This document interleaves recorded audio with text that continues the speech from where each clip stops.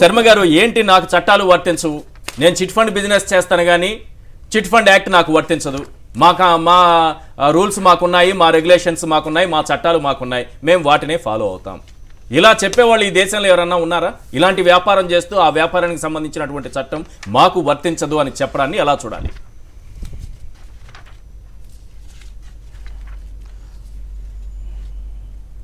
ఉన్నారు కదండి. మన ఏవన్ రామోజీరావు గారు ఏటి శైలజ గారు ఉన్నారు కదా మనకి.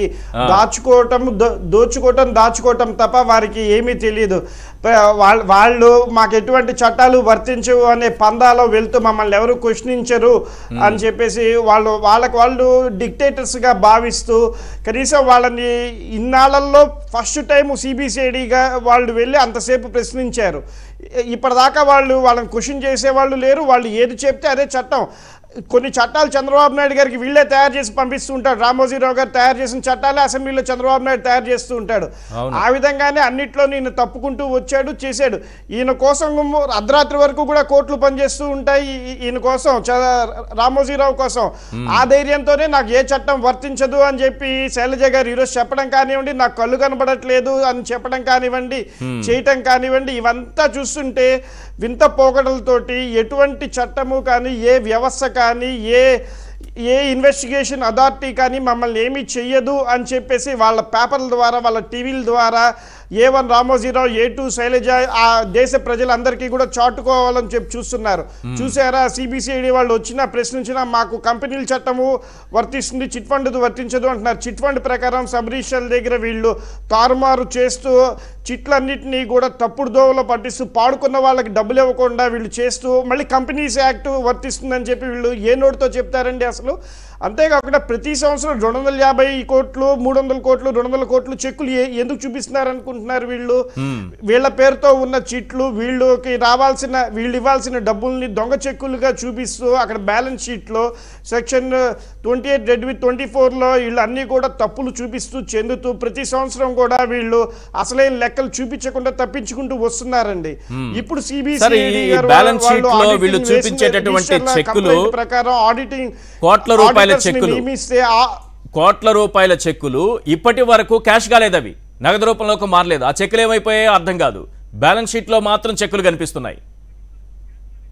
అవ అవవ అవవండి అవన్నీ అవన్నీ కూడా section twenty eight read with twenty ఫోర్ని సమన్వయపరచడానికి సమాధాన పరచడానికే అవి ఆ చెక్కులు చూపించారు. అవన్నీ వీళ్ళు ప్రజల డబ్బులు ఎక్కడైతే లాస్ అయిపోయారో చిట్ ఫండ్స్లో ఉషోదయాల్లో సినిమాల్లో పెట్టి లాస్ అయిపోయారో వాటిని డబ్బులు కట్టలేక చేయలేక ఊరికినే ఆ టైంకి కట్టినట్టుగా చెక్కుల రూపంలో చూపిస్తూ వచ్చారు ఇన్నాళ్ళు.